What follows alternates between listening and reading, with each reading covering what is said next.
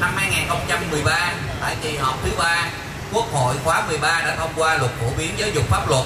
Quy định ngày ngày hội của toàn dân đóng góp tích cực vào thành tựu phát triển kinh tế, xã hội, đảm bảo quốc phòng, an ninh, trật tự phổ biến giáo dục pháp luật, gắn chặt chẽ với công tác xây dựng, thi hành và bảo vệ pháp luật. Thiết thực và hiệu quả, với nhiều mô hình, cách sáng tạo, gắn với việc tổ chức hoạt động đầu tư kinh doanh đẩy mạnh cải cách hành chính và phòng chống tham nhũng lãng phí, đảm bảo quyền lợi ích hợp pháp. Kính thưa các quý vị đại biểu, để tiếp tục phát huy ý nghĩa vai trò pháp luật, nâng cao hiệu lực, hiệu quả công tác tổ chức thi hành pháp luật, phát huy vai trò trong học tập, nghiên cứu, tìm hiểu pháp luật, đặc biệt là tuân thủ và chấp hành pháp luật, kỷ luật, kỷ cương tạo chuyển biến mạnh mẽ, thực chất trong thực thi công vụ gắn với giáo dục, đạo đức liên thi hành pháp luật, tăng cường pháp chế và thực hiện cải cách hành chính. Theo đó, đẩy mạnh thực, đồng thời tiếp tục đổi mới các hình thức phổ biến giáo dục pháp luật, có giải pháp với từng đối tượng trên địa bàn. Mỗi người dân, mỗi cộng đồng cần chủ động hơn trong việc nghiên cứu, tìm hiểu học tập và của cộng đồng ba là cán bộ công chức, viên chức phải tăng cường quan hệ gắn bó với nhân dân, tuân tủy phổ biến giáo dục pháp luật. Để các hoạt động này gần gũi và thiết thực hơn đối với cộng đồng tôi tin tưởng rằng với ý nghĩa tôn vinh, hiến pháp pháp luật và giáo dục ý thức, thượng tôn pháp sẽ góp phần đẩy mạnh hiệu quả công tác tuyên truyền, phổ biến giáo dục pháp luật trên địa bàn phường 8 quận 10 tiếp dân và được thực hiện song song cùng chương trình.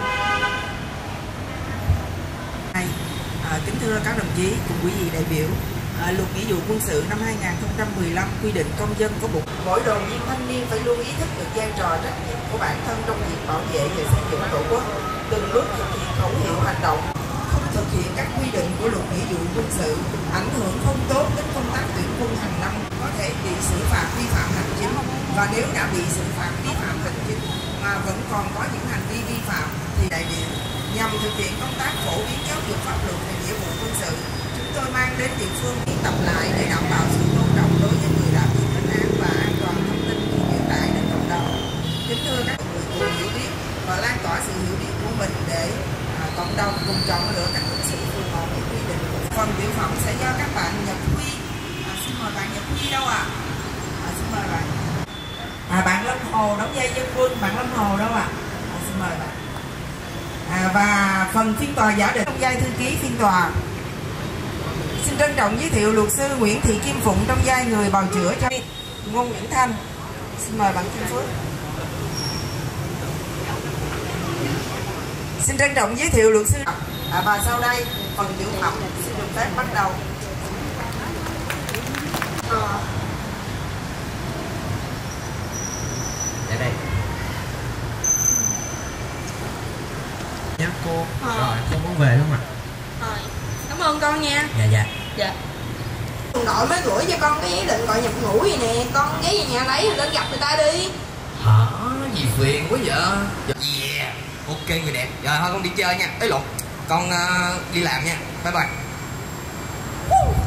Ờ thì ờ, chuyện là hôm qua tôi mới nhận được một cái cái là giờ nó không có ở nhà giờ.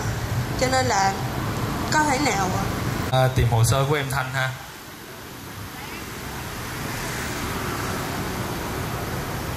À rồi. Chị không cần phải lo lắng quá về việc là Sau khi em nó ra quân thì em nó sẽ không có việc.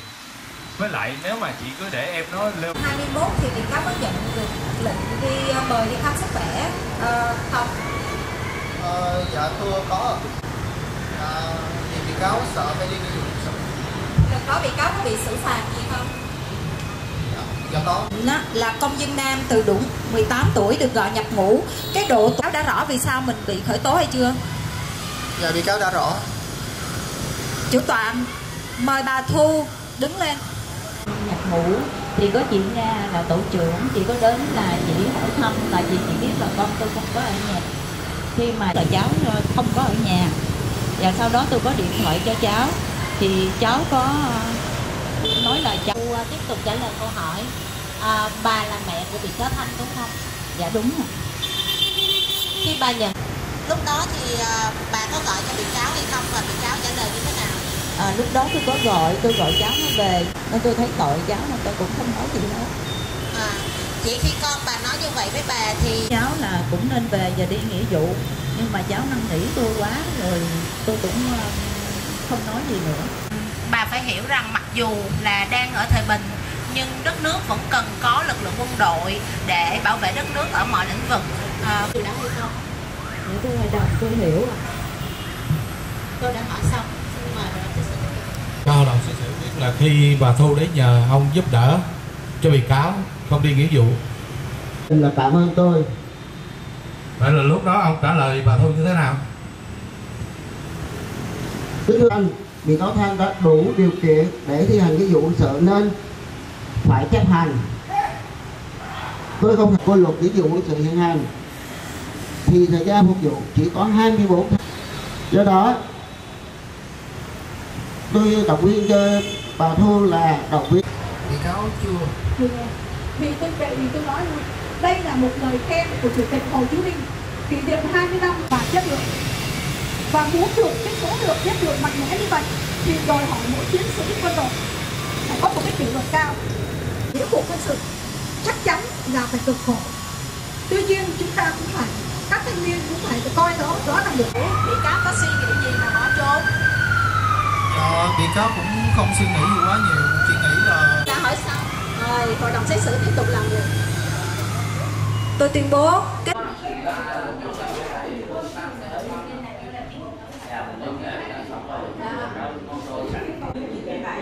thì lên năm sau là 2024 tô cái cái quyền mà mà, mà đã cập nhật sang tới anh may bảo quản lý trên tôi kính đề nghị hội đồng xét xử áp dụng khoảng một điều ba trăm ba nhận ý vậy thôi qua kỳ sự tội của đại diện viện kiểm sát thì bị cáo có tự bào chữa gì mời luật sư bào chữa cho bị cáo trình bày ý kiến bào chữa gì nữa dạ thôi. Của bị cáo. tôi quy định rõ rồi. Ha rồi ở thì cũng biết rồi thì bây giờ tổ tổ quan tâm là có đủ điều kiện thì tiêm bình thường nhà nước người ta cũng khuyến khích tiêm mà về con là con duy nhất con là con ai đó không con cô là cô có. Mấy người con nó mình quản người lao động chính gia đình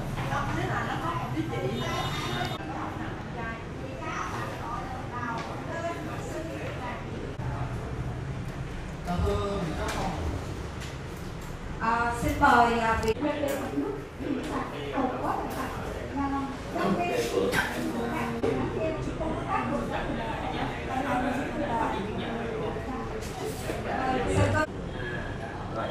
giữa luật sư và đại diện viện kiểm sát có ý kiến khác nhau về cái việc mà sau đây hội đồng xét xử sẽ vào nghị án và sẽ ra tuyên án.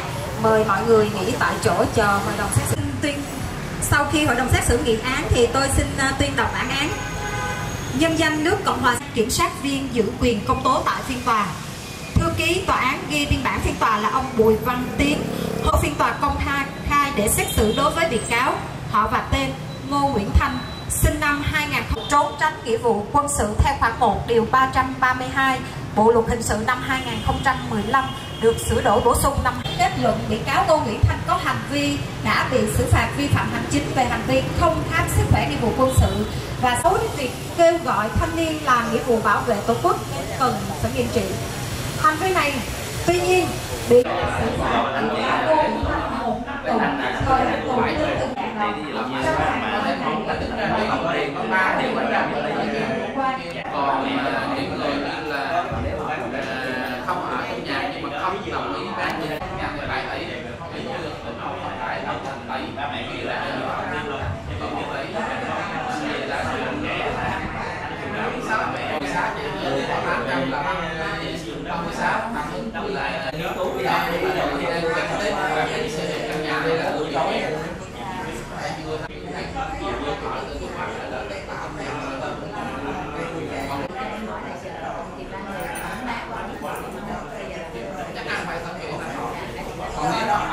không nhân ba năm đồng ý thì tòa buộc là tòa áp dụng phát thải phát thải chia căn nhà làm phải thật thì lúc đó yêu cầu xin án phát thải xin mời quyền lợi quyền lợi hàng tháng, thứ hai, thứ nhất, thứ hai nữa là ờ, mình mình đi ra ví dụ mình, để xin việc làm. Rồi